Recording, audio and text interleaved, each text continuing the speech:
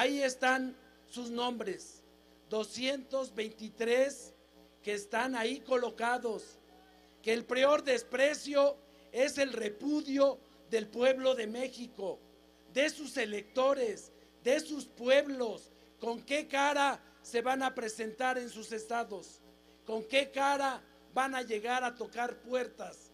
Por eso quisimos estar en esta asamblea, darle las gracias al movimiento, a mi partido, a Morena, porque pusieron ese paredón pacífico para que los mexicanos con su pluma, con su lápiz, los fusilen por traidores, de manera pacífica, como le sucedió, como le sucedió a sus bisabuelos políticos, Miramón y Mejía.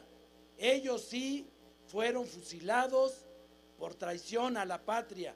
Nosotros les queremos decir que el pueblo de México los repudia. Es un honor para mí, como legislador, como mexicano, como padre de familia, como todos ustedes, decirles que las y los diputados de Morena, del Partido Verde, del Partido del Trabajo, que juntos formamos la coalición, juntos hacemos historia, el domingo dormimos con nuestra conciencia tranquila.